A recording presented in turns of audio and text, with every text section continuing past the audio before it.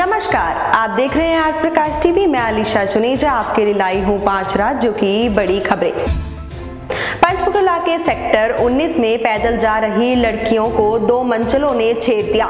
इसके बाद वहाँ मौजूद पब्लिक ने दोनों मंचलों की जमकर पिटाई की और पुलिस 100 नंबर पर कॉल करके पुलिस को बुला लिया। सूचना पाकर मौके पर पहुँची पुलिस ने मामला दर्ज कर दोनों मंचलों को गिरफ़्तार कर लिया, लेकिन लड़कियों का गुस्सा यही नहीं थमा। उन्होंने जिप्सी के अंदर बैठे मंचलों की फिर जूते चप्पल से पिटाई कर डाली।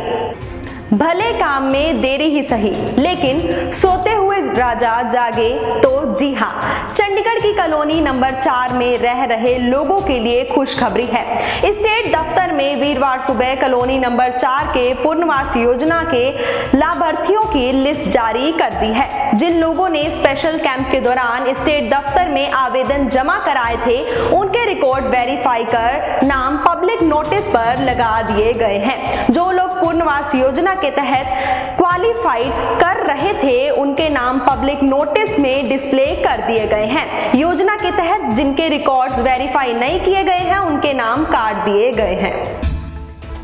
हरियाणा में चुनावी मौसम की शुरुआत हो चुकी है और अवसरवादी नेताओं की पार्टी बदलना लगा हुआ है। उन्हीं अवसरवादी नेताओं के लिए हरियाणा के स्वास्थ्य मंत्री अनिल विज ने कटाक्ष किया है। उन्होंने कहा कि भाजपा में आने का मतलब कोई नेता यह ना समझे कि उसका यहाँ टिकट पक्की है। नेताओं को स्वहित से ऊपर उठकर जनहित के लिए भाजपा ज्वाइन करनी चाहिए। में रेलवे की बड़ी लापरवाही गुरुवार को उस वक्त सामने आई जब यहाँ रोहतक रेल ट्रैक बारिश की वजह से धस चुका था और इस पर से एकता एक्सप्रेस ट्रेन गुजार दी गई। गनीमत रही कि हादसा नहीं हुआ। हालाँकि बाद में जब पता चला तो अधिकारियों को इस बारे में सूचित किया गया। फिर कई ट्रेनों का आवागमन बंद किया गया।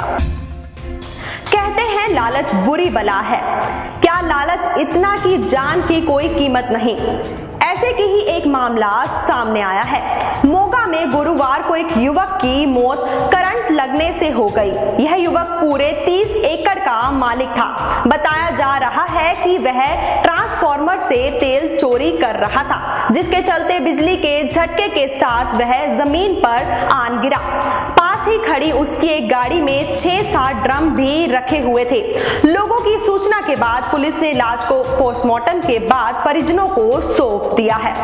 पंजाब में पुलिस प्रशासन में वीरवार को बड़े स्तर पर फेरबदल किया गया।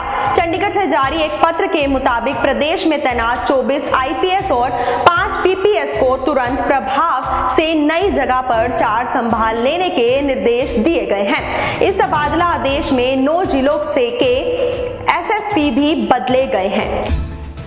हमारा देश आधुनिक हो रहा है, किंतु हमारे देश में अंधविश्वास को लेकर लोगों की मानसिकता आज भी उसी स्तर पर ज़िंदा अंधविश्वास के चक्कर में लोग बहुत कुछ गवाते हैं।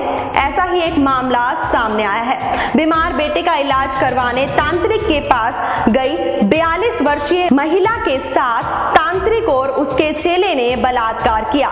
यह घटना सोलन की है। इस गैंगरेप के दोनों आरोपियों को पुलिस ने पकड़ लिया है। हिमाचल की निचली अदालतों में पक्षकारों को गवाह पेश करने के लिए तीन से ज़्यादा मौके नहीं मिलेंगे। हाई कोर्ट ने मामले की सुनवाई को लेकर निचली अदालतों को यह आदेश दिया है। आदेश में हाई कोर्ट ने कहा कि यदि आवश्यक हो तो ही पक्षकारों को तीन से अधिक मौके दिए जा सकते हैं। लेकिन संबंधित जज को ऐसा किए जाने के लिए ठोस कारणों का उल्लेख अपने आदेश में करना होगा। लोकसभा चुनाव में करारी शिक्षक खाने वाले दिल्ली मुख्यमंत्री अरविंद केजरीवाल की नज़रें अब दिल्ली विधानसभा पे टिकी हैं। महिलाओं के लिए मेट्रो मुफ़्त के बाद अनुधिकृत कॉलोनियों में रहने वाले लोगों को बड़ा तोहफा मिलने जा रहा है। मुख्यमंत्री अरविंद केजरीवाल का कहना है कि दिल्ली की सभी अनधिकृत कॉलोनियों को नियमित करने की प्रक्रिया शुरू होने जा रही है। इससे करीब 60 लाख की आबादी को सीधा फ़ायदा होगा। नियमित होने के बाद कॉलोनियों में रजिस्ट्री हो सकेगी। लोगों को उनके मकान का मालिकाना हक मिलेगा।